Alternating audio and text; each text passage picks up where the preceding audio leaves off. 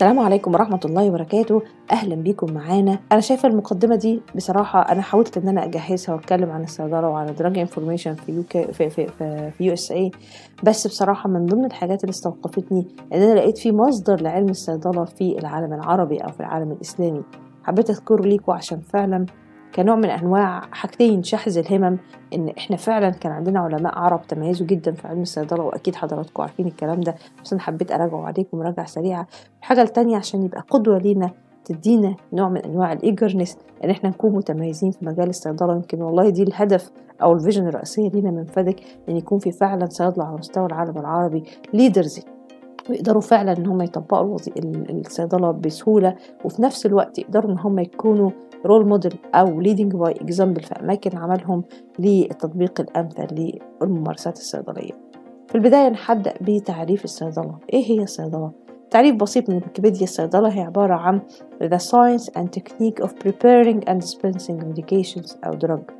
إن أنا أعمل preparing و dispensing the drugs أو medication is it a health profession that link health science with chemical science. أحسن علم أو العلم الذي يربط العلوم الطبية بالعلوم الكيميائية أو chemical science هي الصيدلة. أنا عندي طبيب بيعمل prescribe لل medication وفاهم ال diagnosis أنا كصيدلي لازم أكون فاهم ال medication اللي أنا هستخدمه مع ال disease ده إيه. يمكن ظهر علم ال clinical pharmacy زي ما هنتكلم بعد شوية اللي يخليني أربط ال disease بتاع ال patient وإيه ال condition بتاعت ال patient أو ال medical condition اللي عليها أنا هستخدم ال medication عشان لما أكون فاهم من ال basics هعرف آخد decision صح. في ال patient لو هو في drug interaction أو pharmacokinetic parameters وهكذا. المهم عشان ما نروحش beyond ال objectives بتاعتنا الصيدلة هي العلم اللي بيربط ال health science بال chemical science والهدف منه to ensure safe and effective use of pharmaceutical drugs.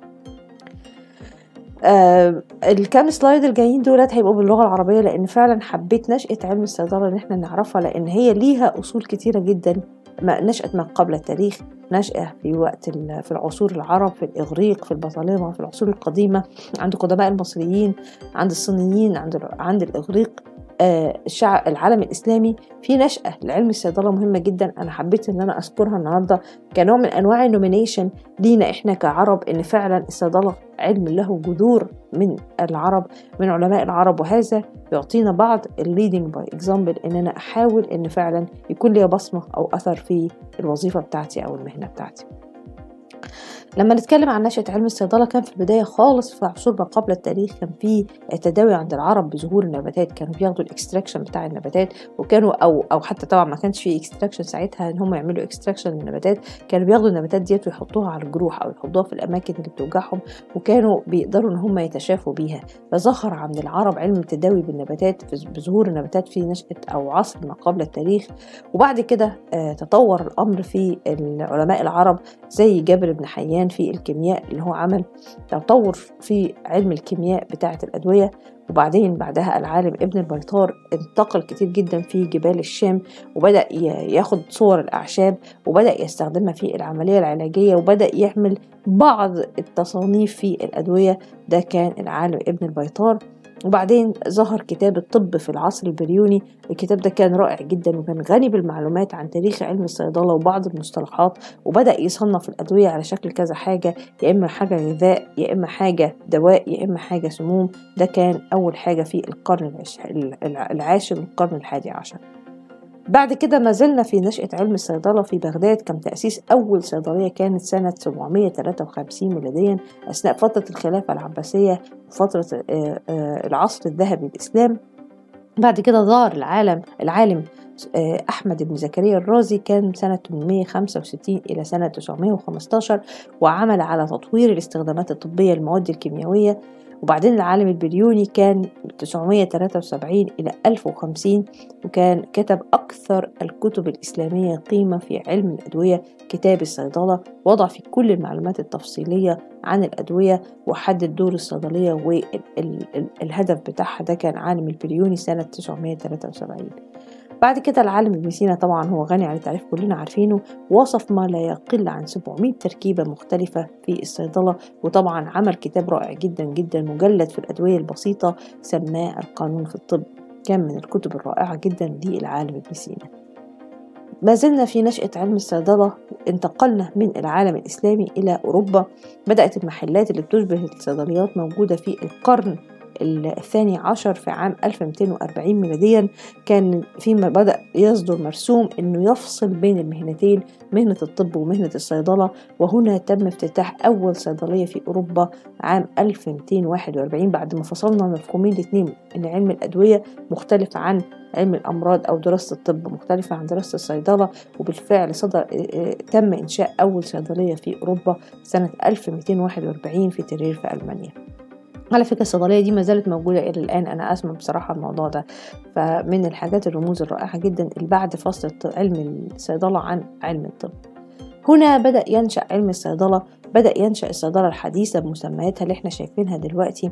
بعد إنشاء الصيدليات والتطور اللي بدأ يظهر في الفترة الحديثة بدأت تتطور في الصناعات وبدأ يبقى في معاهد متخصصة وبدأ يبقى في تحضير الأدوية وبدأنا نقسم علم الصيدلة لأربع علوم مهمين جدا اللي إحنا يمكن درسناهم كلنا في الكليات علم الصيدلانيات أو ال pharmaceutics وده بيهتم بتحويل المادة الكيميائية لدواء آمن وفعال نحدد الجرعة والتصنيف والأشكال الصيدلانية بتاعتنا.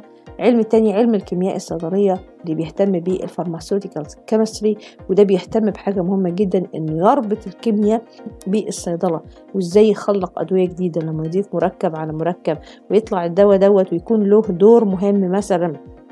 حاجة بتشفي من من مرض معين وبدأ إن هو يربط يخلق أدوية جديدة ويستخدمها في العلاج المختلف. بعد كده نشأ علم الممارسات الصيدلية وهو ال pharmacy practice وده اللي يمكن إحنا بالفترة دي مهتمين بيه بفادك وهو شغلنا الشاغل هو تطوير الصيدلة والممارسة الصيدلانية إنها تكون بشكل فعال وبشكل يعني بيكون efficient مع المريض. الحاجة اللي بعد كده وهو كان علم الأقرباذين أو علم ال pharmacology والذي كان يعني بالأدوية وتركيبها الكيميائي وبعدين في الآخر كان علم العقاقير الطبية ال pharmacognosy اللي كان بيهتم بالنباتات ومكوناتها وطرق زراعتها وأشكالها المختلفة وإزاي نستخدمها في العملية العلاجية والأدوية. كل اللي فات دوت كان نشأة الصيدلة في العالم. أو العصور الوسطى وفي عصر الإسلام. أنا حابب بصراحة اذكرها ليكم لسبب واحد عشان إحنا نتعلم فعلا إن الصيدلة ليها أصل وأصلها عندنا إحنا في حضارة الإسلام وحضارة المسلمين. حابب بصراحة إن أنا أنوه عن أهمية فعلا إن إحنا كان لينا أثر في علم الصيدلة عشان يكون example أو role model لكل واحد فينا إن هو يتعلم فعلا ويعلم نفسه ويشتغل على نفسه كتير عشان يطلع في الآخر صيدلي متميز. ونشأة علم الصيدلة نشأت في العالم الإسلامي في العصور الإسلامية. فعلا أتمنى إن إحنا يكون عندنا ال role أو ال أو ال أو الدور بتاعنا الفعال اللي نقدر نقدمه في مهنة الصيدلة. في بعض الملخصات لكل المحاضرة موجودة في صورة جداول. هختم بإن إحنا فعلا كان لينا ال role ولينا الأصل في نشأة علم الأدوية كعالم عربي وكعالم إسلامي. إن شاء الله أتمنى تكون أنت أحد الناس المميزين في ال pharmacy practice و drug information professional أشوفكم دايما على خير. والسلام عليكم ورحمة الله وبركاته.